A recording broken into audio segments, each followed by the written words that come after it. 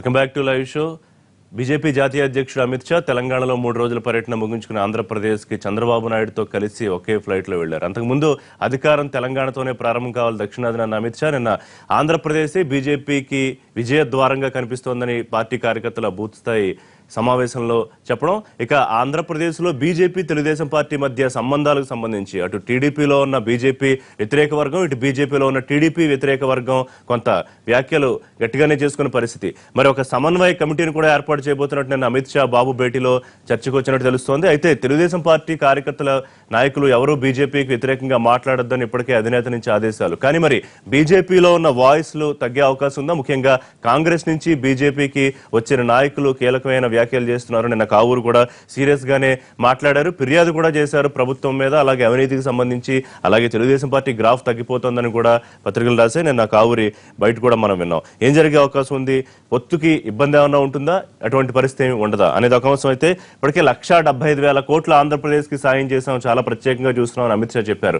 దాన్ని ఇటు ప్రభుత్వం తెలుగుదేశం పార్టీ ఒప్పుకునే అవకాశం ఉందా? మరి నేను మళ్ళీ ముఖ్యమంత్రి మాకు ఇంకా సాయం చేయాలని అడిగారు. దానికి ప్రభుత్వం ఏం చెప్తుంది? అంశాలు మాట్లాడదాం. అలాగే బీజేపీ మూడేళ్ళ పాలన కూడా పూర్తి చేసుకుని వాళ్ళ నుంచి ఉత్సవాలు జరుపుకోవడానికి సిద్ధంగా ఉంది. మనతో పాటు సి నరసింహరావు గారు సీనియర్ జర్నలిస్ట్ ప్రముఖ విశ్లేషకులు జాయిన్ అవుతున్నారు. ఎన్ తులసిరెడ్డి గారు మాజీ పార్లమెంట్ సభ్యులు అలాగే ఆంధ్రప్రదేశ్ పార్టీ సీనియర్ నాయకులు. ఖమ్మంపాటి రామ్మోహన్ రావు గారు మాజీ ఎంపీ తెలుగుదేశం పార్టీ సీనియర్ నాయకులు జాయిన్ అవుతున్నారు. ఇటు విజయవాడ ఎన్టీవీ స్టూడియో నుంచి కర్ణాటక ఆంజనేయ రెడ్డి గారు ఆంధ్రప్రదేశ్ బీజేపీ ముఖ్య నాయకులు మనతో లైవ్లో అందుబాటులోకి వస్తున్నారు. రైట్ నరసింహరావు గారు. ఒకటి అమిత్ షా గారు అన్నట్టు ఇక్కడ తెలంగాణలో ఇక్కడ మాకు చాలా ఆశాభావంగా ఉంది. అధికారంలోకి రావడానికి చాలా అవకాశాలు ఉన్నాయన్నారు. ఆంధ్రప్రదేశ్కి వెళ్ళి ఒక స్టోరీ కూడా భారతంలో చిన్న ఎగ్జాంపుల్ కూడా చెప్పి విజయద్వారంగా కనిపిస్తుంది నాకు ఇక్కడ ఆంధ్రప్రదేశ్ అని చెప్పారు. ఎట్లా అంటే బీజేపీ సొంతంగా అధికారంలోకి రావడానికి విజయద్వారంగా ఉందని చెప్పారని అర్థం చేసుకోవాలా? ఎట్లా చూడాలి ఆయన వ్యాఖ్యని అంతే సొంత గదిగారులకు వద్దామనే వాళ్ళ ఆలోచన. నిన్న ఇరవై ఐదు వేల పోలింగ్ బూత్స్ నుంచి రిప్రజెంటేటివ్ తీసుకొచ్చారు వాళ్ళ పోలింగ్ ఏజెంట్ని ఇరవై ఐదు వేల బూతుల నుంచి యాభై వేల మంది వచ్చారని చెప్పారు. అసలు వాస్తవంగా జరిగిందేంటి అక్కడ? ఇరవై వేల మంది వచ్చారు మొత్తం. అక్కడ ప్రజలు. ఇరవై వేల మందిలో పదిహేను వేల వాళ్ళు చెప్పిన లెక్క అయితే ఒక్కొక్క బూత్ నుంచి ముగ్గురు చూసినా డెబ్బై ఐదు వేల మంది డెబ్బై ఐదు వేల మంది ఉన్నారు ఇరవై వేల మంది వచ్చారు. ఇరవై వేల మందిలో పదిహేను వేల మంది హైదరా ఒక నా విజయవాడ నగర వాసులు. విజయవాడ కానీ గుంటూరు కానీ అక్కడ నగర వాసులు పది ఇరవై పదిహేను వేల మంది. మిగతా వాళ్ళు చాలా ప్రాంతాల నుంచి వచ్చారు. వాళ్ళకి చైతన్య ఎడ్యుకేషనల్ ఇన్స్టిట్యూట్స్ అని ఒకటి ఉంది. అక్కడ చాలా చాలా వ్యాప్తి చెందింది చాలా ప్రసిద్ధి చెందింది. అతను అధినేత సత్యనారాయణ వీళ్ళకి బాగా సనుకూ అనుకూలంగా ఉంటున్నాడు బీజేపీకి. ఆయన మొత్తం వెహికల్స్ అన్ని పెట్టాడు. ఆయనకున్న వెహికల్స్ దాదాపు ఒక కొన్ని వందల వెహికల్స్ పెట్టాడు. వెహికల్స్ పెట్టి వాళ్ళ ఎంప్లాయీస్ని మిగతా చోట్ల నుంచి అన్ని చోట్ల నుంచి తీసుకొచ్చారు. అంతా మొత్తం అంతా మొబైలైజ్ చేసి జాగ్రత్త అంటే బూత్ స్థాయి కార్యకర్తలు అనేది మాటే లేదు నిన్న. పదిహేను వేల మంది విజయవాడ వాళ్ళు చైతన్య వాళ్ళు తీసుకొచ్చిన వాళ్ళు ఒక మూడు నాలుగు వేల మంది అక్కడక్కడి నుంచి వచ్చిన వాళ్ళు నియోజకవర్గాలు ఒక పది నియోజకవర్గాల లోపు వచ్చారు మొత్తం ప్రజలంతా కూడా. వాళ్ళు బూత్ స్థాయి కార్యకర్తలని వాళ్ళు మీరు వాళ్ళు చూస్తుంటే నాకు కళ్ళు చెదిరిపోతున్నాయని కళ్ళు మీరంత వరకు వాళ్ళు కూర్చున్నారని ఇక రేపు అధికారంలోకి విజయ ద్వారం ఇది అవుతుందని విజయ ఆంధ్రప్రదేశ్ విజయ ద్వారం అవుతుందా? అంటే అసలు వాళ్ళకి రియాలిటీ తెలిసినట్లేదు. వాస్తవికత తెలిసినట్లేదు. కాంగ్రెస్ పార్టీ ఇంతకాలంగా అధికారంలో ఉంటే మొన్న ఎన్నికల్లో ఒక్క చోట డిపాజిట్ రాలా. ఒక బొత్స సత్యనారాయణ తప్ప ఎవరికి డిపాజిట్ రాకుండా అధపదాన్ని తొక్కేశారు కాంగ్రెస్ పార్టీని. ఎందుకు? రాష్ట్రాన్ని దుర్మార్గంగా అశాస్త్రీయంగా అన్యాయంగా ఒక కుట్ర ప్రకారం రాష్ట్రం విభజించారని ఈ విభజనలో ఈ కుట్రలో బీజేపీ కూడా భాగం ఉందని ప్రజలంతా కూడా నమ్మారు. ప్రజలంతా కూడా నమ్మి మనం జనరల్ ఎన్నికలకు ముందే పంచాయతీ ఎన్నికలకి మున్సిపల్ ఎన్నికలకి అన్నిటికీ ఎన్నికలు జరిగినాయి. ఎన్నికలు జరిగితే బీజేపీ వాళ్ళు సొంతంగా పోటీ చేశారు అన్ని చోట్ల. ఒక్క చోట అంటే ఒక్క చోట డిపాజిట్ రాలా అలాగే మాణిక్యాలరావు అని వాళ్ళ మంత్రిగా ఉన్న ఆయన ఆయన తాడేపల్లిగూడలో వార్డుకి పోటీ చేసి అరవై ఐదు ఓట్లు తెచ్చుకుని ఓడిపోయాడు. అంటే తర్వాత రెండు ఫలితాలు ఒకేసారి వచ్చినాయి. అలాంటి అసలు బీజేపీకి వాళ్ళ కాంగ్రెస్ పార్టీకి భారతదేశంలో ఏ పరిస్థితి ఆంధ్ర రాష్ట్రంలో ఏ పరిస్థితి ఉందో వాళ్ళు తిరిగి కోలుకోలేని పరిస్థితి ఎక్కడ డిపాజిట్ రాని పరిస్థితి అలాగే బీజేపీకి అంతకన్నా ఘోరమైన పరిస్థితి ఉంది. ఇంకా కాంగ్రెస్ రూట్స్ ఉన్న పార్టీ అది. ఎంతో కనుక దేశంలో అధికారంలో ఉన్న పార్టీ. అలాంటిది బీజేపీకి అది ఆంధ్రప్రదేశ్లో ఎంత గింగరాలు తిరిగినా వాళ్ళు కోలుకోలేరు వాళ్ళ వల్ల కాదు. తర్వాత ఇంకో చిన్న విషయం ఏంటంటే వాళ్ళు కేవలం చంద్రబాబు ప్రాపకంతో చంద్రబాబు వాళ్ళు మరి ఆయన మాటలు ఏంటంటే నాకు బయటవాడిగా రామారావు గారు చెప్పాలి. ఏమన్నా కేంద్రంలో ఉన్న వాళ్ళు బ్లాక్ మెయిల్ చేస్తున్నారంటే తెలియదు నాకు. మేము మీరు బ్లాక్మెయిల్ చంద్రబాబుని. మీరు మమ్మల్ని సమర్థించాలి మా పార్టీని సమర్థించాలి మమ్మల్ని విమర్శించకూడదు విమర్శించకుండా ఉంటే ఇస్తామని బ్లాక్ మెయిల్ చేస్తున్నారో లేదో నాకు తెలియదు కానీ చెప్పాలి? ఆ బ్లాక్ మెయిల్ ఇప్పుడు ఆయన మనం వద్దు వాళ్ళు విమర్శించొద్దు వాళ్ళు ఏం చేయొద్దు అది ఒక జాతీయ పార్టీ దేశంలో అధికారంలో ఉన్న పార్టీ వాళ్ళు విమర్శించొద్దు అంటే అసలు మీ పార్టీ మరి సభ్యుల యొక్క వాక్ స్వాతంత్రం కట్టడి చేసే అధికారం ఆంజనేయ రెడ్డి గారు మొత్తానికి కష్టపడి ఒక ఇరవై వేల మందిని ముప్పై వేల మందిని గారు, తీసుకురాగలిగారా? వాళ్ళందరూ కూడా సమీకరించిన కార్యకర్తల బూత్ స్థాయి కార్యకర్తలు కాదని నరసింహరావు గారు చాలా స్పష్టంగా చెప్తున్నారు. రెండోది విజయద్వారం అంటే బీజేపీ సొంతంగా అధికారంలోకి రెండు వేల పంతొమ్మిదిలో అధికారంలోకి రావాలనుకుంటుందా? అందుకే విజయద్వారం అన్నారా?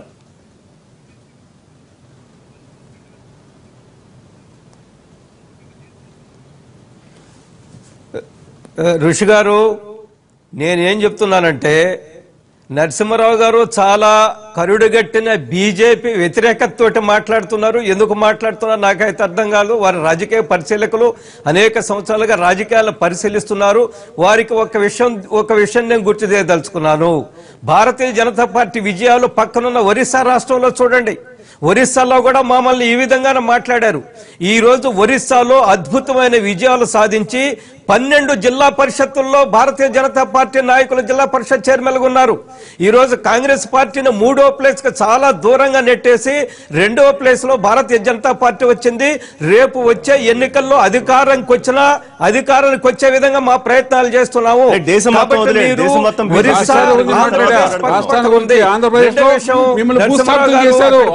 రెండో ఉనికి లేదు. పుట్టగత ఉండవు ఆంధ్రప్రదేశ్లో ఆంధ్రప్రదేశ్లో బీజేపీ చేసిన అన్యాయానికి. ప్రజలు ఏమాత్రం క్షమించరు. మీరు. చెప్పారా? వీళ్ళు గారు ఒక విషయం అయితే మేము పొరపాటు చేశాం. కాంగ్రెస్ మీరు మాట్లాడారు. అక్రమంగా చీల్చాం. మీరు మాట్లాడారు. కొంత బాగుండేది. వీళ్ళు అసలు పశ్చాత్తాపం పశ్చాత్తాపం? మీరు ఇదే మాట్లాడారు. డిమానిటైజేషన్ విషయంలో కూడా ఇదే మాట్లాడారు ప్రజలు మిమ్మల్ని వ్యతిరేకిస్తారు. డిమానిటైజేషన్ చరిత్ర పూర్తయిందని. కానీ డిమానిటైజేషన్ తర్వాత జరిగిన ఎన్నికల్లో గారు వస్తున్నారండి. ఆంధ్రప్రదేశ్కి రెండు. సంవత్సరాలు ఎన్నికలు ఉన్నాయి. ఎన్నికల ఫలితాలు. నిర్ణయిస్తుంది. ఎన్నికల్లో ఏ రాజకీయ పార్టీ శక్తి ఒకటి అర్థమవుతుంది. నిన్నటి రోజున బూత్ కమిటీ సభ్యుల విషయంలో నరసింహరావు గారు అందరూ కూడా తోలారంటున్నారు. నేను మా సొంత జిల్లా నుంచి మూడు వేల మందిని బస్సుల్లో వచ్చాము. ఎనభై బస్సుల్లో వచ్చాము. కార్లలో వచ్చాము. అనేక మంది సొంతంగా వాళ్ళు డబ్బులు పెట్టుకొని వచ్చారు. విజయవాడలో ఎవరో తోలారు. ఏదో విద్యా సంస్థల చైర్మన్ తోలారని పచ్చి అబద్ధం. నేను మ- మీటింగ్లో ఉన్నాను నేను బహిరంగ సభల వేదిక మీద ఉన్నాను. అత్యుత్సాహం కార్యకర్తల్లో కనిపించింది. ఇంత తీవ్రమైన వేడిలో కూడా ఇంత. మండిపోతున్న ఎండల్లో కూడా కార్యకర్తలు వచ్చారు. కార్యకర్తలు. ఉత్సాహము సంతోషము ఆ- ఆంజనేయ రెడ్డి గారు. రెండు వేల పంతొమ్మిదిలో ఆంధ్రప్రదేశ్ విజయద్వారము మీ బీజేపీ మీరు. లేకపోతే మీ విజయోత్సవాలకి ముఖద్వారం అంటే సొంతంగా అధికారంలోకి రావాలనుకుంటారా? ప్లీజ్ దానికి ఆన్సర్ చేయండి.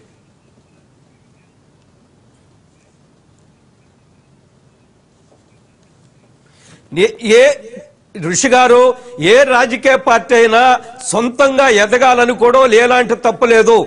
మేము ఈరోజు తెలుగుదేశంతో స్నేహబంధం ఉంది. అలయన్స్లో ఉన్నాము. తెలుగుదేశం కేంద్రంలో ప్రభుత్వంలో భాగస్వామ్యం ఉంది. ఇక్కడ మేము ప్రభుత్వంలో ఉన్నాం. మీరు ఒక విషయాన్ని గుర్తుపెట్టుకోవాలా ఋషి గారు? కేంద్రంలో తెలుగుదేశం మీద ఆధారపడి బీజేపీ ప్రభుత్వం నడవడం లేదు. బీజేపీకి సొంతంగా మెజార్టీ ఉంది. ఆంధ్రప్రదేశ్లో బీజేపీ మీద ఆధారపడి తెలుగుదేశం నడవడం లేదు. తెలుగుదేశానికి సొంతంగా మెజార్టీ ఉంది. కానీ. మేము ఇద్దరం కూడా ఎన్నికల్లో కలిసి పోటీ చేశాము. ఈ సంకీర్ణ ధర్మాన్ని కాపాడడం కోసం వారు భాగస్వామ్యుల కేంద్రంలో మా ఇక్కడ రాష్ట్రంలో మేము భాగస్వామ్యులుగా ఉన్నాము. ఏ పార్టీ అయినా సొంతంగా ఎదగడంలో ఎవరికి అభ్యంతరం ఉండవలసిన అవసరం అది. ఒక రాజకీయ పార్టీ లక్షణం. భారతీయ. జనతా పార్టీ లాంటి అలాంటి ఒక సిద్ధాంతపరమైన కార్యకర్తలతో ఆధారపడి నడుస్తున్న ప్రభుత్వ పార్టీ ఏదైతే ఉందో ఆ పార్టీ సొంతంగా ఎన్నికల్లో పోటీ చేయాలా సొంతంగా ఎదగాల సొంతంగా అధికారానికి. రావడం ఏమీ తప్పులేదు. కానీ ఇప్పుడు మేము తెలుగుదేశంతో మాకు స్నేహబంధం ఉంది సంకీర్ణంలో ఉన్నాము మేము సమైక్యంగా కలిసి పనిచేస్తున్నాము. ఇది ఎవరికి అభ్యంతరం ఉండవలసిన అవసరం లేదు. నరసింహరావు గారు చాలా కరుడు అనేక రాజకీయ పరిశీలన second. భవిష్యత్తు నిర్ణయిస్తుంది మీ ఆలోచనలు పూర్తిగా తప్పని నేను చెప్తున్నాను రామ్మోహన్ రావు గారు కొంత అమిత్ షా పర్యటనకు ముందు విమర్శలు చేసుకున్న టీడీపీ బీజేపీ నాయకులకు నిన్న అమిత్ షా చంద్రబాబు ఒకే విమానంలో కలిసి రావడం అనేది మొదటి సిగ్నల్ అయితే కనుక. అమిత్ షాకు చంద్రబాబు నాయుడు విందు సమావేశం రెండో సిగ్నల్. సమన్వయ కమిటీ ఏర్పాటు అనేది ఒక మూడో సిగ్నల్. అంటే బంధానికి ఇప్పుడే బేటలు వారే అవకాశం ఏం లేదా? అంటే అసలు అది అప్రస్తుతం రిషి గారు బేసిక్గా ప్రజల మ్యాండేట్ ఐదేళ్ళకు ఇచ్చారు. ఓకే. ఎన్డీఏ ప్రభుత్వం. అక్కడ ఇక్కడ కూడా మేము కలిసి ప్రజల్లో వెళ్ళాం. ఎన్నికల ముందు పొత్తు పెట్టుకున్నాం. సో ఇప్పుడు మనకు కావాల్సింది ఏంటి? ఆంధ్రప్రదేశ్ మూడు సంవత్సరాల బేబీ ఏ విధంగా ఇందాక నరసింహరావు చెప్పినట్టుగా కాంగ్రెస్ ప్రభుత్వం విభజన చేసింది బిల్లులో తప్పులు తడకని రకరకాలుగా ఎన్నోసార్లు మనం చర్చించుకున్నాం. అవన్నీ అధిగమించి రాష్ట్రాన్ని గాడిలో పెట్టాల్సిన బాధ్యత మా మీద ఉంది. ఎన్డీఏ ప్రభుత్వం మీద మా తెలుగుదేశం మీద ఎందుకంటే మెయిన్ భాగస్వాములు మేము కాబట్టి. సో ఆ దిశగా ముఖ్యమంత్రి గారు అహర్నిశలో పనిచేసి కృషి చేస్తా ఉన్నారు. ఈవేళ మనకు కావాల్సింది ఏంటి రాజకీయం కాదు అభివృద్ధి కావాలి. ప్రజలకు మనం ఏం వాగ్దానం చేసాం వాటిని ఇంప్లిమెంట్ చేసే దిశగా మనం వెళుతున్నాం లేదా వాటిని పురోగతి ఏ విధంగా ఉంది ఆ దిశగా మేము పయనిస్తా ఉన్నాం. సరే మీరు అన్నట్టుగా అక్కడ మాట్లాడారా ఇక్కడ మాట్లాడారంటే కొత్తగా చేరిన కాంగ్రెస్ నుంచి వచ్చిన నాయకులు వాళ్ళ కళ్ళజోడు నుంచి బీజేపీకి ఇంకా షిఫ్ట్ కాలేదా అట్లా మారుతున్నారంటే అవన్నీ కూడా అధినాయకత్వాన్ని పార్టీ పాలసీ తెలుగుదేశం పార్టీ నాయకులు కూడా మాట్లాడారు. అందుకే మాకు క్రమశిక్షణ కలిగిన పార్టీ కాబట్టి మా నాయకుడు మా వాళ్ళందరూ కూడా స్పష్టంగా చెప్పారు. మీరు ఎట్లా పెడితే అట్లా మాట్లాడొద్దు పార్టీ ఎలా అయినా ఉంటుందో ఆ దిశగా మీరు వెళ్ళండి. స్థానికంగా మీకున్న అంశాలు ఎక్కడన్నా డిఫరెన్స్ ఉన్నా కానీ అవి నా దృష్టికి తీసుకురండి. మీరు పత్రికలకు వెళ్ళొద్దు సో. తెలుగుదేశం ప్రభుత్వంతో కేంద్రం ప్రభుత్వం ఆధారపడలేదు. కేంద్రం నుంచి మాత్రం తెలుగుదేశం ప్రభుత్వానికి సాయం కావాలి కాబట్టి నాలుగు మాటలన్నా కూడా మనం సర్దుకుపోవాలనేది అధినేత చాలా స్పష్టంగా చెప్పిన మాట. ఎందుకంటే ఎందుకంటే ఘర్షణ మనకు కావాలా? మనకు నిధులు కావాలా? రాష్ట్ర ప్రజల కోసం పొత్తు ఎందుకు పెట్టుకున్నాం రాష్ట్రం కోసం. ఇదేదో చంద్రబాబు నాయుడు గారి సొంతమో నా సొంతమో వాళ్ళ సొంతం కోసం కాదు. ప్రజల కోసం. ప్రజాభివృద్ధి కావాలి. మనం కేంద్రం నుంచి ముప్పై రాష్ట్రాల్లాగా చూడకుండా ఆంధ్రప్రదేశ్ని ప్రత్యేకంగా చూసి ఎక్కువ నిధులు మాకు సహాయం చేయండి. మీ పరిధిలో ఉన్నదానికి లేనిది కూడా మనం కొంత తెచ్చుకోవాలనే దృక్పథంతో మనం కృషి చేస్తాం తెలుగుదేశం పార్టీ గ్రాఫ్ తగ్గిపోతోంది. తెగదెంపులు చేసుకోవాలి. మాకు బీజేపీ ముఖ్యమంత్రి కావాలి. అవినీతి విపరీతంగా పెరిగిపోతోంది. రాజధాని పేరుతో కోట్లు కొలగొడుతున్నారు. ఇలాగ బీజేపీ నాయకులు అమిత్ షాకే నేరుగా ఫిర్యాదు చేసిన బహిరంగంగా విమర్శలు చేసినా కూడా తెలుగుదేశం పార్టీ ప్రస్తుతానికి సైలెంట్ గానే ఉండాలి ఇప్పుడు చేసిన వాళ్ళు ఎవరు? హార్డ్ కోర్ బీజేపీయా? లేకపోతే ఇటీవల కాంగ్రెస్ నుంచి వచ్చిన నాయకుల? వాళ్ళు ఒక వ్యాపార సంస్థలాగా వాళ్ళ గ్రాఫులు ఆ వ్యాపారం గ్రాఫ్ ఆ దృష్టిలో పెట్టుకుని మాట్లాడారా? అది పార్టీ పాలసీగా మనం ఎట్లా ఆపాదిస్తాం? ఒకటి. రెండు ఇండివిజువల్గా వ్యక్తులు మాట్లాడినప్పుడు ఆ వ్యక్తులకు ఆపాదించుకోవాల్సిన అవసరం ఉంది కానీ ఇప్పుడు అందుకే మీకు చెప్పింది మా అంతే కదా పార్టీ పాలసీ అనేది ఇప్పుడు ఈ పార్టీ పాలసీ అనేది పొత్తులు కానీ లేదా మేజర్ ఇష్యూస్ ఎప్పుడు కూడా చంద్రబాబు నాయుడు గారి నోటి నుంచో అటు అమిత్ షా నోటి నుంచో మోడీ నోటి నుంచో లేదా రాష్ట్ర అధ్యక్షుడు బీజేపీ అధ్యక్షుడు మాట్లాడితేనో మనం చర్చించుకుని దాని మీద ప్రజల్లోకి ఏంటి సంకేతాలు పోతున్నాయని చర్చించుకోవచ్చు. కానీ ఆ విధంగా లేదు. స్థానికంగా ఉన్న అంశాలు లేదా వాళ్ళకున్న అవగాహన లోపమా లేదా వేరే పార్టీ నుంచి వచ్చారు కాబట్టి ఇంకా ఆ కల్చర్ అదే ఉందా వాళ్ళలోని? ఇప్పుడు ఇందిరమ్మ గ్రామ స్థాయిలో ఇదివరకు కమిటీలు ఉండేవి. కరప్షన్ విపరీతంగా ఉండేది కాంగ్రెస్లో. ఆయన ఇంకా అదే విధంగా ఉందని అనుకున్నాడా? ఆ కలజోడు తీయలేదా? ఏంటనేది వాళ్ళ విఘ్నతకి రెడ్డి గారు అంటే ఒక చిన్న విషయం రామ్మోహన్ గారు ఒక సమాధానం చెప్పాలి. అంటే పా- పార్టీ స్వతంత్రంగా వ్యవహరిస్తే మీ విధానాల ప్రకారం మీ సిద్ధాంతాల ప్రకారం మీరు వ్యవహరిస్తే బీజేపీ కేంద్ర ప్రభుత్వం నుంచి రాష్ట్ర ప్రభుత్వానికి నిధులు రావని మీరు భయపడుతున్నారా? నిధులు కావాలని ఆయన చెబుతారు నిధులకి ప్రభుత్వాలు నిధులు ఇస్తాకి పార్టీ స్వతంత్ర ప్రవర్తిస్తాకి ఏమైనా సంబంధం ఉందా? చెప్పండి తేల్చండి అది నిధుల నిధుల విషయంలో ఎప్పుడు కూడా వాళ్ళు ఇందాక ఇంకో మాట కూడా అన్నారు. వాళ్ళు ఏమన్నా ఒత్తిడి తీసుకొస్తున్నారా బ్లాక్ మెయిల్ చేస్తారా అవి వాస్తవం కాదు. బేసిక్గా మనం అంటే పాలసీ ఎందుకు తీసుకుంటున్నామంటే ఈ దీంతో ఇప్పుడు రాజకీయాలు అనేది మా నాయకుడు ఇప్పుడు కాదు తొంభై ఐదులోనే చెప్పాడు ఏమని? ఎన్నికలప్పుడు మాత్రమే రాజకీయాలు మిగతా సమయంలో అభివృద్ధి మీద దృష్టి పెట్టాలి. ఇవాళ ప్రజలు మనకు మ్యాండేట్ ఇచ్చున్నారు ఐదేళ్ళకి. ఐదేళ్ళ ఎన్నికల ముందు దాని మీద ఒత్తిడి ఉంటాం. బీజేపీ వరకు. మీరు కూడా చెప్పదలుచుకున్నారా? ఇక నుంచి ఎటువంటి వ్యాఖ్యలు లేకపోతే తెలుగుదేశం పార్టీ అధ్యక్షుడి మీదో ముఖ్యమంత్రి స్థాయిలో ఆయన మీద ఎటువంటి విమర్శలు ఉండవని బీజేపీ నాయకులు చెప్పగలుగుతారా? కావూరు నిన్ననే ఆయన టూరు ముఖ్యమంత్రితో కలిసి వస్తున్నారని తెలిసి కూడా ఆయన విమర్శలు చేసిన పరిస్థితి మనం చూసాం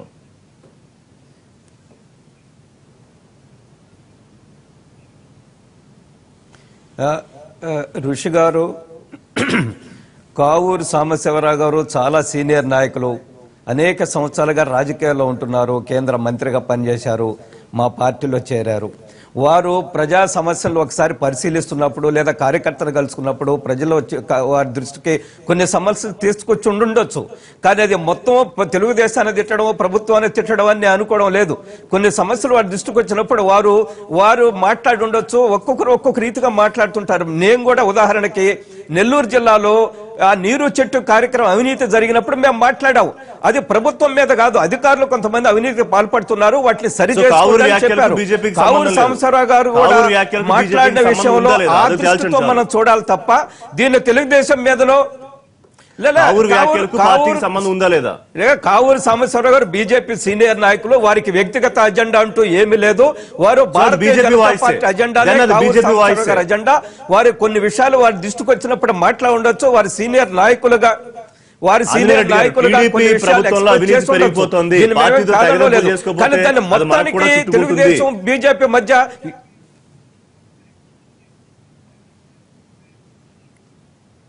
లేదా అది అది వారి వ్యక్తిగత అభిప్రాయం కావచ్చు తెలుగుదేశం భారతీయ. జనతా పార్టీ ఇప్పుడు. నడుస్తున్నాం. భవిష్యత్తులో కూడా కలిసి కలిసి నడవాలనుకుంటున్నాం. ఆంజనేయ అర్థమైంది. ఆ కన్ఫ్యూజన్ ఉందనే విషయం చాలా స్పష్టంగా అర్థమవుతోంది. మాట్లాడదాం మళ్ళీ. తులసిరెడ్డి గారు. అమిత్ షా గారి ఆంధ్రప్రదేశ్ పర్యటన ఇది కొత్త కాదు వింత కాదు ప్రాధాన్యత అంశము కాదు. గతంలో విజయవాడకు వచ్చాడు రెండు వేల పదహారు మార్చిలో రాజమహేంద్రవరం వచ్చాడు. రెండు వేల పదహారు సెప్టెంబర్లో తాడేపల్లిగూడెం వచ్చారు. కాబట్టి ఇది పెద్ద కొత్త కాదు వింత కాదు ఇది ఒక ప్రాధాన్యత అంశము కాదు. నంబర్ టూ దేశంలో బీజేపీ ఒక సిగ్నిఫికెంట్ పార్టీ. కానీ ఆంధ్రప్రదేశ్కు సంబంధించి ఇది ఒక అనామక పార్టీ. ఇది రాజ్ ఆ అనామక పార్టీకి అధ్యక్షుడైన. ఆయన వస్తే ఏంటి రాకుంటే ఏమిటి? గుడ్డికన్ను మూస్తే ఏమిటి? గుడ్డికన్ను తెరిస్తే ఏమిటి? రాజ్యం లేని రాజు ఆయన. ఆయన వస్తే ఏమిటి? రాకుంటే ఏమిటి? ఆంధ్రప్రదేశ్ ట్రాక్ రికార్డు బీజేపీది ఈవెన్ జనసంఘ పార్టీ కానుంటి తీసుకుంటే అది గొర్రెతోక బెత్తడే. మనము బీజేపీ ఆవిర్భావం తర్వాత మనం ఎన్నికల ఫలితాలు సమైక్యాంధ్రలో కానీ ఇప్పుడు కానీ చూస్తే పంతొమ్మిది వందల ఎనభై మూడులో మూడు ఎమ్మెల్యేస్ ఎనభై తొమ్మిదిలో ఐదు.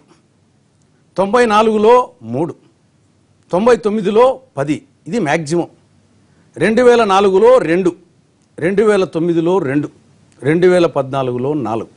కాబట్టి దీని ట్రాక్ రికార్డు మ్యాక్సిమం పది. ఓటింగ్ శాతము రెండు పంతొమ్మిది వందల తొంభై నాలుగులో మూడు పాయింట్ ఎనిమిది తొమ్మిది శాతం. కాబట్టి ఈ పార్టీ గొర్రెతోక బెత్తడే. ఆ బెత్తెడు తోక కూడా ఈ మూడేళ్ళలో ఊడిపోయింది ఊసిపోయింది. దానికి కారణము ప్రత్యేక హోదా విషయంలో పంగనామాలు పెట్టడం. రెండవది వచ్చేసి విభజన చట్టంలోని అంశాలను నీరుగార్చడం. మూడవది ఈ యొక్క పెద్ద కరెన్సీ నోట్ల రద్దు మిగతా రాష్ట్రాల్లో ఏ విధంగా ఉందో కానీ ఆంధ్రప్రదేశ్లో ఇది ఒక పిచ్చి తుగ్లక్ చర్యగా ప్రజలు భావిస్తున్నారు. నాలుగోది ఇటీవల ప్రవేశపెట్టిన బాదుడు పథకం. అంటే బ్యాంకుల్లో వేస్తే బాదుడు బ్యాంకుల్లో తీస్తే బాదుడు కానీ కానీ పొలిటికల్గా చూస్తే ఇటు వైసీపీ పుంజుకోలేకపోతోంది. సరే తెలుగుదేశం పార్టీ ప్రభుత్వం మీద ఫిర్యాదు. నేరుగా. ఇప్పుడు ఇదే కరెక్ట్ టైం బీజేపీకి. సరే ఆయన విజయద్వారం అన్నారు ఇదే కరెక్ట్ టైం అని చెప్పి కార్యకర్తలంతా వెళ్ళి అధ్యక్షుడు చెప్పారని కూడా మనకి తెలుస్తుంది. ఇదే పెద్ద విచిత్రం. నేను ముందే చెప్పాను అది గొర్రె తోక బెత్తడే ఆ తోక కూడా ఊసిపోయింది.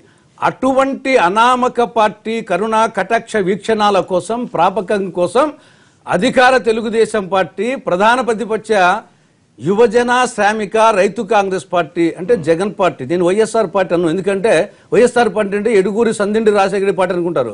కానీ అది యువజన శ్రామిక రైతు కాంగ్రెస్ పార్టీ యువజన శ్రామిక రైతు కాంగ్రెస్ పార్టీ ఆ అనామక పార్టీ కరుణా కటాక్ష వీక్షణాల కోసం ప్రాపకం కోసం ప్రాకులాడడం సాగిలబడం ఇది ఒక ఆంధ్రునిగా వచ్చేసి చాలా బాధ అట్లా కాదు కదా, మీరు చెప్పేది రాజకీయంగా బీజేపీ పరిస్థితి చెప్తున్నారు. కానీ కేంద్ర ప్రభుత్వంలో ఉన్నది అదే కదా బీజేపీ నేతృత్వంలో ఎన్డీఏ. తప్పదు కదా మరి అట్లా ఉండకపోతే అట్లా? అంటే తప్పదంటే సాగిలబడడం తప్పదా? మిత్రధర్మం అంటే ఏమి? సమానంగా ఉండడం వచ్చేసి ఇచ్చిపుచ్చుకోవడం నువ్వు ఏమి ఇవ్వకున్నా వచ్చేసి ఆయన పార్టీ అధ్యక్షునిగా పార్టీ మీటింగ్కి వచ్చాడు మోడీ వస్తే అది వేరు ఆయన పార్టీ అధ్యక్షునిగా వస్తే రావమ్మ మహాలక్ష్మి మా ఇంటికని రావమ్మ రావయ్యా అమిత్ షా మా ఇంటికి అని చెప్పేసి ఆయన వచ్చేసి అష్ట కష్టాలు పడి ఎందుకు తీసుకోవడము ఈయన జగన్మోహన్ రెడ్డి ఆలు లేదు చూలు లేదు సోమలింగం. అన్నట్టు. రాష్ట్రపతి ఎన్నికల్లో ఆయన ఇద్దరు సాగిలబడి సాష్టాంగ ప్రణామాలు చేస్తున్నారు. అనామక. అంత మీకు ప్రశ్న? తులసిరెడ్డి గారు చాలా తప్పుగా దాన్ని తీసుకుంటా ఉన్నారు. ఇప్పుడు సహజంగా ఒక పార్టీ జాతీయ పార్టీ అధ్యక్షుడు వచ్చినప్పుడు మిత్రధర్మంగా మా నాయకుడు హైదరాబాద్లో ఉన్నాడు కాబట్టి వెళ్తున్నామంటే కలిసి వెళదామని అనుకున్నారు వచ్చారు. రెండవది మీరు అసలు మర్చిపోతున్నారు. చేసిందంతా చేసింది ఆ రాష్ట్రాన్ని విభజన ఏ విధంగా చేశారు అష్ట కష్టాలు ఇవాళ ఇంత ఆ పరిస్థితిలో ఉన్నది అని అంటే తప్పులు తడక ఉంది అని అంటే నిధులు ఏ- ఏర్పాటు ఏ విధంగా చేసింది అంటే కారణం వాళ్ళే చేసి మళ్ళీ ఇవాళ దాన్ని విమర్శగా ఇప్పుడు ఏదో గాడిలో పెట్టి నయానా భయాలు ఇప్పుడు ఈవేళ మనకు కావాల్సింది ఘర్షణ అభివృద్ధి రెండే రెండు. ఈవేళ విమర్శలు లేకపోతే సాష్టాంగం ఇది చేశారు ఇవన్నీ తప్పది. మిత్రధర్మంగా ఒక వ్యక్తి జాతీయ పార్టీ అధ్యక్షుడు వచ్చినప్పుడు రండి ఇదిగో మన రాష్ట్రానికి వచ్చారు విజయవాడకు వస్తున్నారు కాబట్టి ప్రక్కనే ఆహా లంచ్ రండి అని ఆహ్వానించారు. తప్పలేదు అదే విధంగా కానీ అదే మిత్ర ధర్మాన్ని అవతల పార్టీ నుంచి leave TDP leave TDP save BJP. మాకు బీజేపీ ముఖ్యమంత్రి కావాలని అధ్యక్షుడు మాట్లాడుతున్న సమయంలోనే ప్లకార్డులు పట్టుకుని ఎట్లా కాదు ఋషి గారు ఒక జాతీయ అధ్యక్షుడు వచ్చినప్పుడు వాళ్ళ పార్టీ ఇంప్రూవ్ చేసుకోవాలని వాళ్ళ కార్యకర్తలకు ఉన్న ఎంతమంది ఉన్నా కానీ వాళ్ళని ఉత్తేజపరచడానికి వాళ్ళు వచ్చి ఉండొచ్చు కొంతమంది కోరుకోవడంలో కూడా తప్పు లేదు దానికి. దానికి కూడా మనం తప్పు పట్టాల్సిన పని లేదు. రాజకీయ పార్టీగా. కావాల్సిందేంటి? లంచ్ పెట్టినా కానీ అక్కడ ఏంటి మాట్లాడారు? ఏపీ రియార్జన్ యాక్ట్లో పెండింగ్లో ఉన్న అంశాల మీద అదేవిధంగా రైల్వే సమన్వయ కమిటీ సమన్వయ కమిటీ గురించి మాట్లాడుకున్నారు? ఇద్దరి మధ్య సంబంధాలు తిట్టుకోకుండా అదే ఎస్ కూడా మంచిది కాదు కదా. ఎందుకంటున్నానంటే కావాల్సింది వాళ్ళ రాజకీయం కాదు ప్రజలకి ఆంధ్రప్రదేశ్ ప్రజలకి. అభివృద్ధి కావాలి. పెండింగ్ అంశాలు మీరు కంప్లీట్ చేయండి. అదే విధంగా ఏదైతే ఉందో మాట్లాడదాం. పెండింగ్ అంశాలు విభజన మీకు ఇచ్చిన లక్ష డెబ్బై ఐదు కోట్ల గురించి మాట్లాడదాం. రైట్ ఆంజనేయ రెడ్డి గారు స్ట్రైట్ రియాక్షన్ అన్న తులసిరెడ్డి గారి కామెంట్. మీద ఒక అనామక పార్టీ గొర్రె తోకకు బెత్తుడు లాంటి పార్టీ అంతకన్నా పెద్ద సీన్ లేదు బీజేపీకి ఆంధ్రప్రదేశ్లో అని చాలా సీరియస్ కామెంట్ చేశారు తులసిరెడ్డి గారు. నేను చెప్తాను అదే అదే అదే నేను చెప్తాను.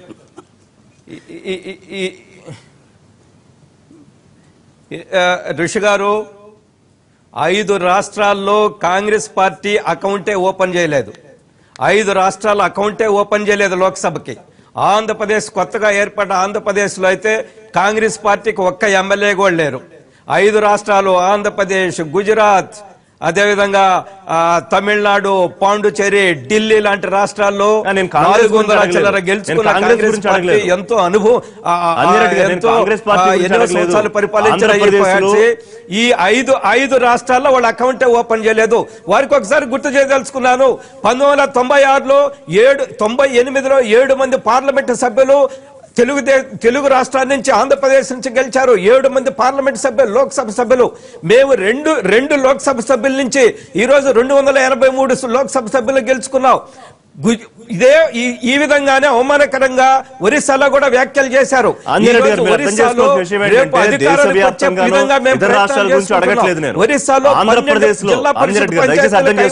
ఆంధ్రప్రదేశ్లో బీజేపీ స్కోప్ గురించి ఆయన ప్లేస్కి చేసిన వచ్చేసింది. కామెంట్ దాని మీద మీ రియాక్షన్ కావాలి నాకు.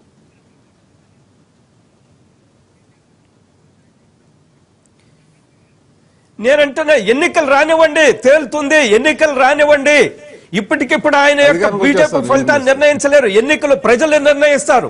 ఎన్నికలు వచ్చాయి ఒరిస్సాలో స్థానిక సంస్థల ఎన్నికలు ప్రజలు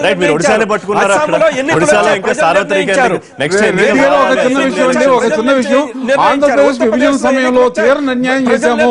ఆ కుట్రలో మేము భాగస్వాములు అయ్యాము అని మీకు పశ్చాత్తాపం ఉందా?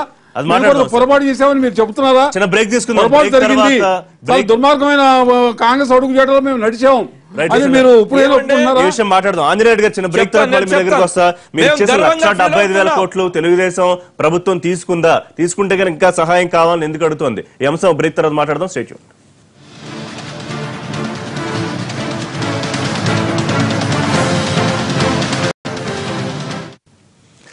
back to Amit Shah Andhra Pradesh చేస్తున్న సాయం గురించి కూడా నిన్న ప్రస్తావించారు. దాదాపు లక్ష డెబ్బై ఐదు వేల కోట్ల పైచిలకు సాయం చేశారు. నరసింహరావు గారు లక్ష డెబ్బై ఐదు వేల కోట్లు అంటే ఇందులో భాగంగా చూడాలి. విభజన బిల్లులో ఆంధ్రప్రదేశ్కి రావాల్సినవి కలుపుకున్నా లేకపోతే అంతకన్నా విడిగా ఇచ్చినవని చెప్పారా? ఏ రకంగా చూడాలి లక్ష డెబ్బై ఐదు వేల కోట్ల డబ్బుని? హోదా హోదా హోదా అన్నారు. హోదా కన్నా గొప్పగా ప్యాకేజ్ ఇచ్చామని కూడా చెప్పారు? లక్ష డెబ్బై ఐదు వేల కోట్లు కాదు.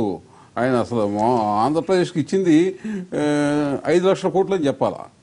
లక్ష డెబ్బై ఐదు వేలు ప్రాతిపదిక చెప్పాడు ఆయన చేసిన ప్రామిస్లు. రాబోయే రోజుల్లో చేసిన ప్రామిస్లు. ఇప్పుడు అలాగే ఇండస్ట్రియల్ సదస్సులు పెడితే సెంట్రల్ గవర్నమెంట్ ఇండస్ట్రీస్ ఇక్కడ ప్రామిస్ చేసిన ఇండస్ట్రీస్ రెండు లక్షల కోట్ల పైగా ఉన్నాయి మొన్న విశాఖపట్నం సమ్మిట్ అలాగే రకరకాల రోడ్లు వేస్తే లక్షల కోట్లు ఇస్తా ఉన్నారు మొత్తం మీద. ఓ పది ఏళ్ళలో ఇరవై ఏళ్ళలో ఎంతైనా.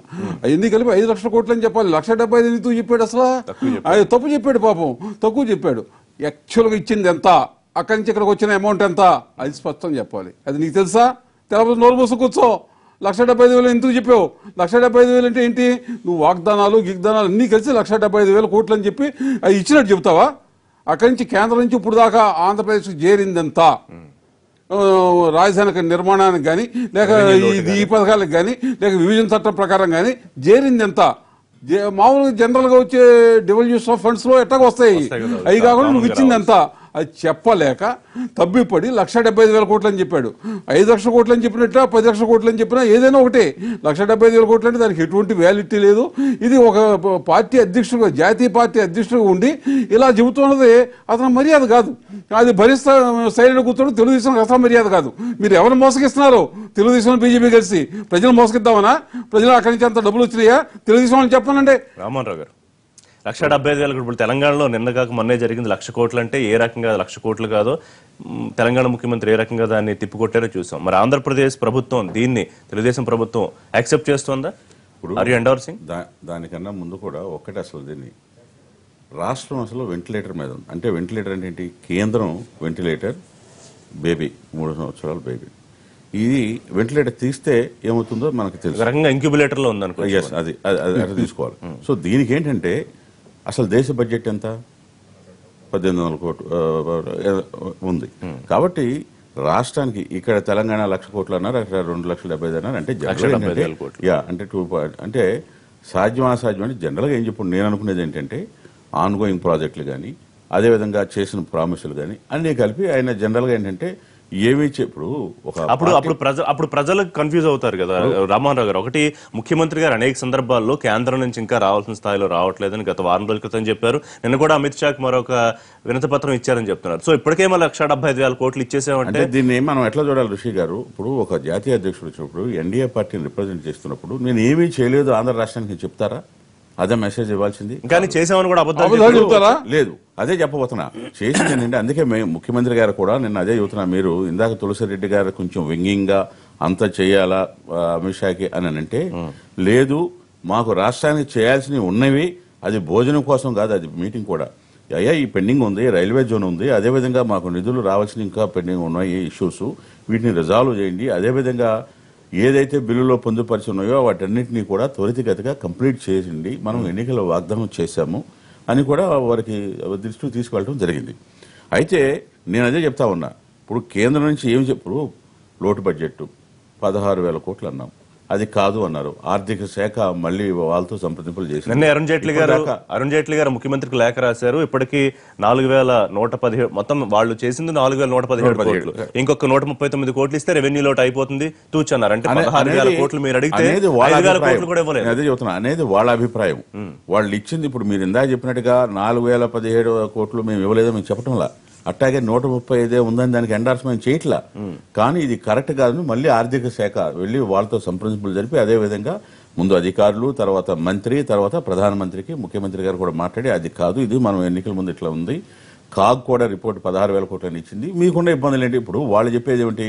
ముప్పై రాష్ట్రాలు ఉన్నాయి మిగతా రాష్ట్రాల్లో కూడా వాళ్ళు ఇది విధంగా ఉంది ఇవి ఇబ్బందులు వస్తున్నాయి అనేది వాళ్ళు టెక్నికల్గా చెప్తా ఉన్నారు. ఇక్కడ టెక్నికల్గా ఆలోచించాల్సిన పని లేదు. ఈ రాష్ట్రాన్ని ప్రత్యేకంగా చూడండి. ముప్పై రాష్ట్రాల్లో ఆంధ్రప్రదేశ్ సపరేట్గా చూడండి. విభజన చేసినప్పుడు వాళ్ళు చేసిన తప్పిదాలని మనం పద్దాక చెప్పి ప్రజల్లోకి వెళ్ళటం కాదు.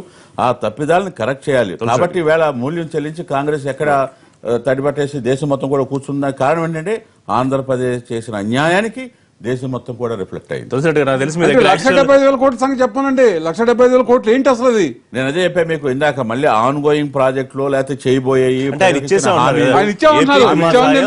ప్రకటన. వేల కోట్లు. ఆల్రెడీ వచ్చేసినట్టు ఆయన ఆయన చెప్పిన మాటల ద్వారా అర్థం అవుతుంది ఇంక మిగతా ఏమన్నా వస్తే ఇందాక అదే చెప్పా దేశ బడ్జెట్ ఎంత ఉంటుంది? రెండు ఇప్పుడు తెలుగు రాష్ట్రాలకి రెండు లక్షల ఇవ్వలేదని చెప్పండి, ఇచ్చారని చెప్పండి. కనపడతాయి? కనపడాలి కదా. కాబట్టి ఏంటంటే లక్ష డెబ్బై ఐదు వేలు చెప్పండి.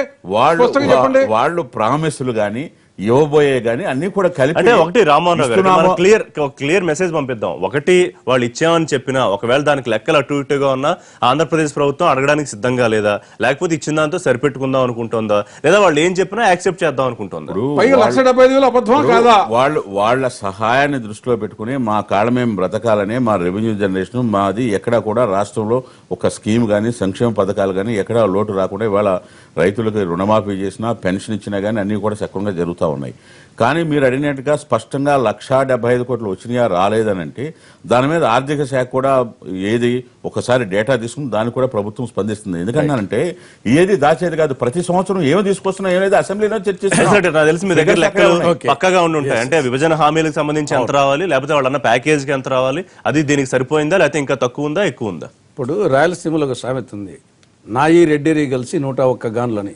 ఒక మేధావి. అంటే ఈయన ఒక్కగాడే ఆ విధంగా అమిత్ షా గారు అమిత్ షా గారు వచ్చేసి శాఖాపరంగా అన్ని రాష్ట్రాలకు ఇచ్చినట్లే శాఖాపరంగా మన రాష్ట్రానికి ఇచ్చినేటి ఇవ్వబోయేటి అన్ని కలిసి లక్షా డెబ్బై ఐదు వేల కోట్లు శాఖాపరంగా అంటే అన్ని రాష్ట్రాలకు ఇచ్చినట్లే. ఇప్పుడు నేషనల్ హైవేస్ అట్నే విధంగా స్మార్ట్ సిటీస్ అన్ని రాష్ట్రాలకు ఇచ్చినట్టు మన రాష్ట్రాలకు ఇచ్చినేటి ఇవ్వబోయేటి అన్ని కలిసి లక్షా డెబ్బై ఐదు వేల కోట్లు. కానీ విభజన సందర్భంగా ఆ రోజు యూపీఏ ప్రభుత్వము మూడు వరాలు ఇచ్చింది. ఒకటి ప్రత్యేక హోదా రెండు రాయలసీమకు ఉత్తరాంధ్రకు స్పెషల్ డెవలప్మెంట్ ప్యాకేజ్.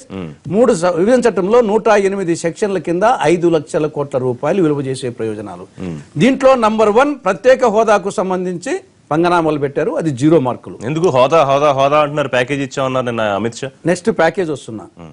చట్టంలోనే సెక్షన్ నలభై ఆరు సబ్ సెక్షన్ మూడు కింద స్పెషల్ డెవలప్మెంట్ ప్యాకేజీ కింద రాయలసీమకు ఉత్తరాంధ్రకు ఇరవై నాలుగు వేల మూడు వందల యాభై కోట్లకు మీరు ఇచ్చింది వెయ్యిన్ని యాభై కోట్లు. అంటే నాలుగు శాతం. ఇంకా తొంభై ఆరు శాతం ఇవ్వలేదు నెక్స్ట్ వచ్చేసి ఐదు లక్షల కోట్ల రూపాయల కింద అరుణ్ జైట్లీ గారు చెప్పిన ప్రకారమే పదివేల నాలుగు వందల అరవై కోట్లు ఇచ్చింది. మొత్తం. దాంట్లో క్యాపిటల్ మొత్తం క్యాపిటల్కు సంబంధించి పోలవరానికి సంబంధించి పదకొండు ఇన్స్టిట్యూషన్ సంబంధించి ఇవన్నీ కలుపుకుంటే ఈ లోపల ఏదో కొంత వచ్చినట్టుంది ఒక వెయ్యి వేలు రెండు వేలు. కాబట్టి మొన్న చెప్పింది పదివేల నాలుగు వందల అరవై కోట్లు ఈ లోపల ఒక రెండు వేల కోట్లు ఇచ్చినట్టుంది. ఓవరాల్గా పన్నెండు వేల నాలుగు వందల అరవై కోట్లు ఇవ్వాల్సింది ఐదు లక్షల కోట్ల రూపాయలు. అంటే అక్కడ టూ పర్సెంట్ కానీ మూడు వరాల్లో ప్రత్యేక హోదాకు పెద్ద బండి సున్నా. రెండవది రాయలసీమకు ఉత్తరాంధ్రకు స్పెషల్ డెవలప్మెంట్ ప్యాకేజీ కింద నాలుగు పర్సెంట్ మార్కులు. ఓవరాల్గా చట్టం కింద వచ్చేసి రెండు పర్సెంట్ మార్కులు. కాబట్టి ఇది ఘోరమైనటువంటి అన్యాయం చేయడం జరిగింది. దాని సో దాదాపుగా ఆయన చెప్పిన లెక్కలో పది శాతం. ఇంచుమించుగా అటు ఇటు. లేదు మూడు వరాల్లో ముందు- ముందు చెప్పినట్టు శాఖాపరంగా లక్ష డెబ్బై ఐదు వేల కోట్లు అది శాఖాపరంగా ఇచ్చినేటి ఇవ్వబోయేటి. దానికి దీనికి సంబంధమే లేదు. విభజన చట్టం సందర్భంగా ఒకటి ప్రత్యేక హోదా పార్లమెంటు చెప్పిన దానికి అది ఫుల్ఫిల్ కాదు మిగతా రెండు వచ్చేసి రాయలసీమ ఉత్తరాంధ్రకు స్పెషల్ డెవలప్మెంట్ ప్యాకేజీ కింద ఇరవై నాలుగు వేల మూడు వందల యాభై కోట్లకు వెయ్యిన్ని యాభై కోట్లు ఇచ్చారు. ఇంకా వెయ్యిన్ని యాభై కోట్లు ఇస్తామని చెప్పారు. ఆడికంగా ఆ రెండు కలుపుకున్నా గానీ ఎయిట్ పర్సెంటే. తులసిరెడ్డి చెప్పిన అంకెల గారెడ్ ఎట్లా ఉందంటే ఈ చిత్తశుద్ధి నిజంగా ఈ కమిట్మెంట్ ఆ రోజు నిజంగా బిల్లులో పొందుపరిచి చట్టాన్ని చేసేసి ప్రధానమంత్రి సంతకం చేసి ఇవాళ అక్కడ పెట్టుంటే ఇవాళ అడిగే నైతిక హక్కు మనకు ఉండేది. అన్ని examine shall examine will examine అని ఏదో తప్పుల గాడిలాగా బిల్లు చేసి అక్కడ పాడేసేసి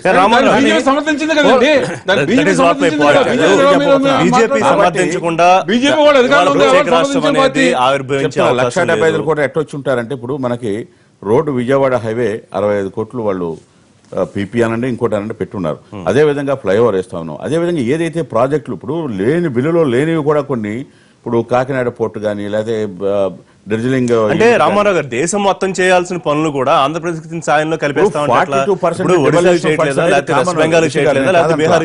I'm not disputing forty two percent ముప్పై రాష్ట్రాలకే కామన్ వచ్చే ఫండ్స్ మన హక్కు మనం ట్యాక్సులు కడుతున్నాం మనకి ఇచ్చే అన్ని రాష్ట్రాలకు ఇచ్చే విధంగా ఇస్తారు. తులసిరెడ్డి చెప్పినట్టుగా స్ట్రక్చరల్గా వచ్చే స్కీమ్స్ వాటి మీద ద్వారా వచ్చే వస్తాయి. అవి కాకుండా అడిషనల్గా ఆంధ్రప్రదేశ్కి ఇప్పుడు మీకు ఉదాహరణ తీసుకుంటే తులసిరెడ్డి గారు ఇంత డేటా చెప్పాడు కదా. కాంగ్రెస్ ప్రభుత్వం పదేళ్ళలో ఇక్కడ అక్కడ రాష్ట్రం ఒకే ప్రభుత్వం ఉన్నప్పుడు ఏమి నిధులు రాష్ట్రానికి తీసుకొచ్చారు? తెలుగుదేశం మేము ఉన్న తర్వాత ఈ మూడు మూడు సంవత్సరాల్లో ఎన్డీఏ ప్రభుత్వం వచ్చిన ఎన్ని నిధులు కనుక మీరు డిబేట్ సపరేట్గా పెడితే ఎన్ని రెట్లు అంటే నాలుగు రెట్లు ఎక్కువ వచ్చినాయి ఇప్పుడు లక్ష డెబ్బై ఐదు వేల- ఒకటి- సార్ తెలుగుదేశం ప్రభుత్వం ఆ కేంద్రం చూస్తున్న సాయంతో సంతృప్తిగా ఉంది అని ప్రజలకు చెప్పదలుచుకుంటే okay there is no debate లేదు మాకు ఇంకా కావాలి అడిగిన కూడా నేను చెప్పేది అదే. వాళ్ళు సహాయం చేస్తున్నారు చాలదు ఇంకా చేయాల్సింది. ఆంజనేయ రెడ్డి గారు. స్పెసిఫిక్గా ఆంజనేయ రెడ్డి గారు లక్ష కోట్ల లెక్క తెలంగాణలో చెప్తే దానికి తెలంగాణ ముఖ్యమంత్రి ఇచ్చిన కౌంటర్కి మీ సమాధానం లేదు. ఇవాళ లక్ష డెబ్బై ఐదు వేల కోట్ల లెక్క చెప్పేసి అమిత్ షా వెళ్ళిపోయారు. ఏంటి ఆ లెక్కల గారడి? ఇవాళ ఎంత రావాలి? మీరు ఎంత ఇచ్చారో అది ఎంత శాతమో కూడా తులసిరెడ్డి గారు చెప్పారు.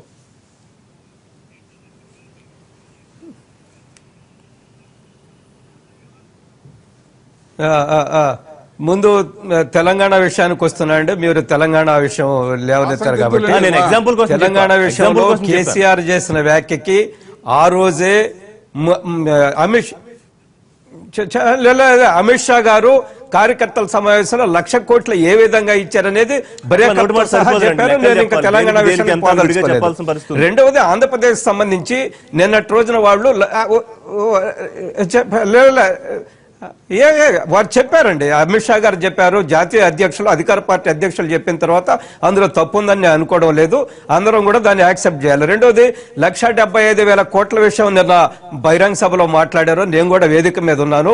వారు ఏ ఏ ప్రాజెక్టులు ఈ ఆంధ్రప్రదేశ్కి ఇచ్చారు ఏ విధంగా విద్యా సంస్థలు ఇస్తున్నారు ప్రాజెక్ట్ ఇచ్చారు ఒక విషయం మనం గుర్తుపెట్టుకోవాలా ఋషి గారు ఏమిటంటే ఒక ప్రాజెక్టు ప్రకటించిన వెంటనే కేంద్ర ప్రభుత్వము ఇప్పుడు ఉదాహరణకి పోలవరం పూర్తిగా పోలవరం ఖర్చు అంతా కేంద్రం భరిస్తుందని చెప్తున్నారు. దాని అర్థం మొత్తం పోలవరానికి సంబంధించిన ఇరవై ఐదు వేల కోట్లు ఇరవై ఆరు వేల కోట్లు ఒకటేసారి ఆంధ్రప్రదేశ్కి పంపించరండి. డెవలప్మెంట్ అనేది కంటిన్యూస్ ప్రాసెస్ కొనసాగుతూ ఉంటుంది. ఒకే రోజు ఒక నెలలోనో మొత్తం లక్ష డెబ్బై ఐదు వేల కోట్లు ఉదాహరణకి అరవై వేల కోట్లు రోడ్లకు ప్రకటించారు ఆంధ్రప్రదేశ్లో దాని అర్థం అరవై వేల కోట్ల ఆంధ్రప్రదేశ్ ప్రభుత్వానికో ఆర్థిక శాఖ మంత్రికి పంపిస్తారని కాదు. ఆన్ గోయింగ్ ప్రాసెస్ అది డెవలప్మెంట్లో ప్రాజెక్టులు ఉదా మీరు ఏమి చేయలేదంటున్నారు. ఎక్స్టర్నల్ ఎయిడెడ్ ప్రాజెక్ట్స్కి నైన్టీ తొంభై శాతం కేంద్ర ప్రభుత్వం భరిస్తుంది. మిగతా రాష్ట్రాలకు భరిస్తుందా? Polavaram project central government take up చేసిన తొంభై శాతం భరించి పది శాతం రాష్ట్ర ప్రభుత్వం భరించాల్సి ఉంటే మొత్తం కేంద్ర ప్రభుత్వం భరిస్తుందని మిగతా రాష్ట్రాలకు ఇచ్చారా?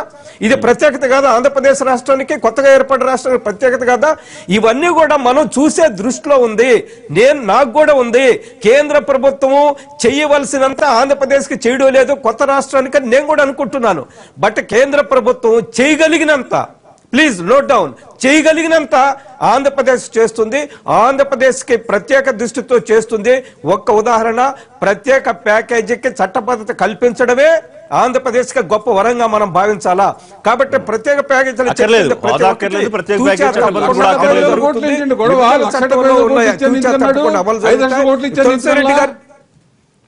లక్ష డెబ్బై ఐదు వేలు కదా. ఏమండి ఐదు లక్షల కోట్లు అండి? మొత్తం ప్రామిసులన్నీ కలిసి సెంట్రల్ గవర్నమెంట్ మొన్న మీరు. చెప్తున్నప్పుడు ఐదు ఐదు లక్షల కోట్లని ఇంకా అమిత్ షా గారు చెప్పాల్సిన అవసరం ఏముందండి నరసింహరావు గారు నరసింహరావు గారు మీరు డిమానిటైజేషన్ విషయంలో ఇదే మాట్లాడారు. విషయంలో ఈ కానీ దేశ ఒకటి సీరియస్నెస్. అనేది సీరియస్నెస్ అనేది చాలా ఇంపార్టెంట్ ఆంజనేయ రెడ్డి గారు. ఏదో లెక్క చెప్పేసి వెళ్ళిపోతే దానికి దానికి ఎంతెంత కేటాయింపులు జరిగాయి. పోనీ మీరు చెప్పిన పద్ధతిలోనే ఓకే రెండు వేల పంతొమ్మిదికి ఇది అవుతుందనో రెండు వేల ఇరవై రెండుకి ప్రాజెక్ట్ అవుతుందనో కూడా చెప్పగలిగే పరిస్థితి వాళ్ళు ఉందా మీరు ఇచ్చిన ఇన్స్టిట్యూషన్లు చేసిన ప్రామిసులు కూడా ఎప్పటికవుతాయి చెప్పగలిగిన ఇస్తున్నారు? పోలవరానికి సంబంధించి రాష్ట్ర ప్రభుత్వం ఇచ్చిన లెక్క ఎంత మీరు ఖచ్చితంగా- చేసింది. మీరు రిలీజ్ చేసింది ఎంత ప్రభుత్వ- లే- లే.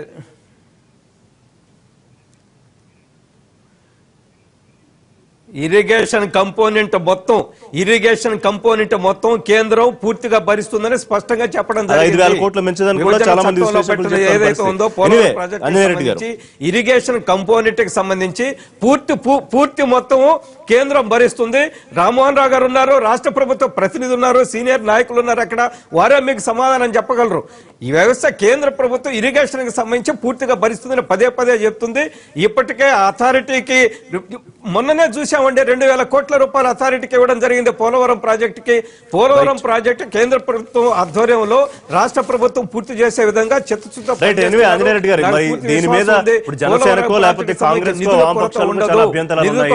ఒకవేళ తెలుగుదేశం బీజేపీ కనుక బీజేపీ ఇచ్చింది మాకు వచ్చిందని తెలుగుదేశం ఒప్పుకున్న ప్రతిపక్షాలకు సమాధానం చెప్పాల్సిన అవసరం ఖచ్చితంగా ఉంటుంది రామ్మోహన్ రావు ఏ రకమైన. పోలవరం హండ్రెడ్ పర్సెంట్ అందులో ఇరిగేషన్ కాంపొనెంట్ కూడా వాళ్ళు ఇస్తా ఉన్నారు. దాని మీద కూడా ఆరో క్లారిటీ లేదు. ఆరో దాని మీద కూడా ప్యాకేజీ క్లారిటీ లేదు రామ్మోహన్ రావు గారు. దాని మీద కూడా క్లారిటీ ఇరిగేషన్ కాంపోనెంట్ అన్న స్పష్టంగా. ఎందుకంటే ఇరిగేషన్ కాంపోనెంట్ వరకు కూడా ఎంతైతే ఖర్చు అవుతుందో అంతా వాళ్ళు భరించాలి. ఇప్పుడు కేంద్ర ప్రాజెక్ట్ అంటేనే అంతే కదా. కేంద్ర. భరించాల్సిన అవసరం ఉంది. చూద్దాం, మీరు అడిగినంత వంద శాతం? భరాయించడం అనేది అదే ఫస్ట్ టైం ఇంతకుముందు దేశంలో కూడా ఎప్పుడు చేయాలి ఆ విధంగా project. Right thank you Rammohan Rao garu thank you Tulasi Reddy గారు థ్యాంక్ యూ నరసింహరావు గారు. Thank you Anjaneya Reddy garu Vijayawada NTV studio నుంచి లైవ్లో అందుబాటులోకి వచ్చినందుకు రేపటి లైవ్ షోలో మళ్ళీ కలుద్దాం. Keep watching NTV